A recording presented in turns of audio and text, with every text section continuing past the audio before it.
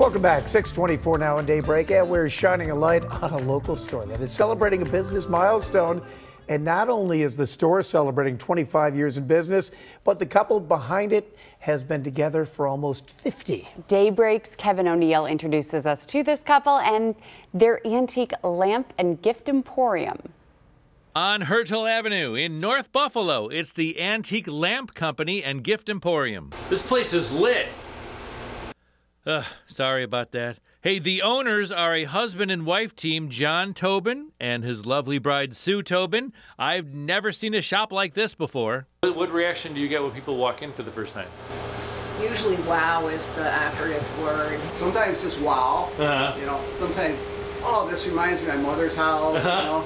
And that's a good thing too because it makes them feel kind of warm and, and, and safe. This year, the Antique Lamp Company and Gift Emporium celebrates its 25th anniversary in business. Of course, they sell antique lamps, they also buy them, and they also repair them. For many folks, these are family heirlooms, and for future customers, these can be a signature piece for a home. This is artwork that you could use. Right. Uh, for decorations and uh, for use. And plus we have a lot of interesting items that you just don't find in big box stores. Of course, part of their business can be quite shady, but if you don't need a lamp or a shade, pop on in for a great gift item. We have jewelry, uh, both estate jewelry and new, and we have a lot of interior design mirrors and different types of home decor. You have a lot of older things here, but they still work.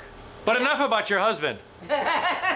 Yes. Sue and John have been married for 47 years, so I asked them to shed some light on what makes a happy marriage. We are so opposite, this sounds strange, but we're so opposite that it works. He's very methodical, I'm very off the cuff and creative. So Uh-huh. those two opposites find a middle ground. Lots of gifts and, of course, lovely lamps. Hertel Avenue in Buffalo. The website is antiquelampco.com. Celebrating Western New York, I'm Kevin O'Neill, Channel 2 News.